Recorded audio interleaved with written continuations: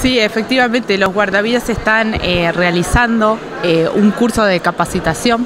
eh, del Instituto Superior de Educación Física. Es un curso universitario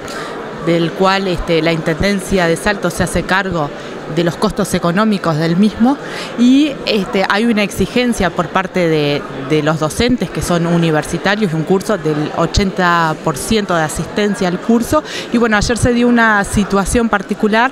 en el sentido de que hay un compromiso por parte de la administración y de la universidad en que las clases teóricas se editan lunes y martes. Y bueno, por el feriado del primero de mayo se corrieron para el miércoles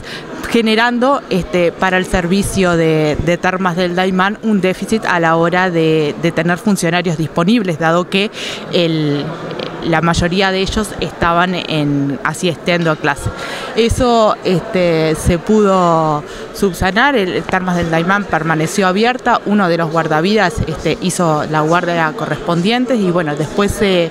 apeló a funcionarios municipales este, del servicio de Termas del Daimán, alguno que ya había sido guardavida, que estuvo en la vigilancia y en la información de los turistas. además que faltó comunicación entre la Dirección de Turismo y los guardavidas.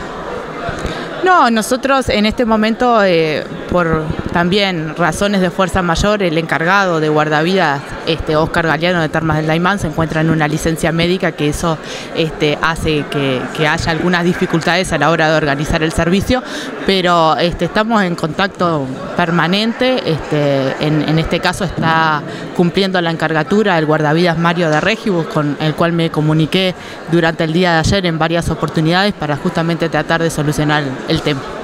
Se habló de falta de personal en Daimán y también en ANAPE. Nosotros en Termas del Daimán tenemos este,